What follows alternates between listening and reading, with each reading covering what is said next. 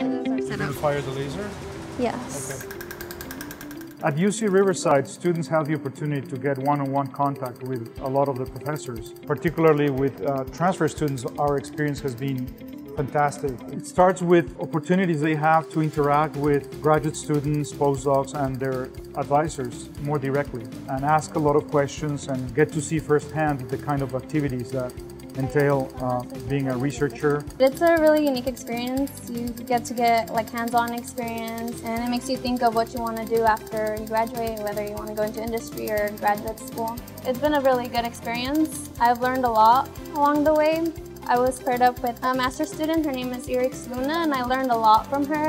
And this summer I was able to teach everything I knew to a student who came from Mexico to do research here this summer. So it's been a really awesome experience. It's a lot of opportunities in research, and every day you're learning something new, and I really enjoy that.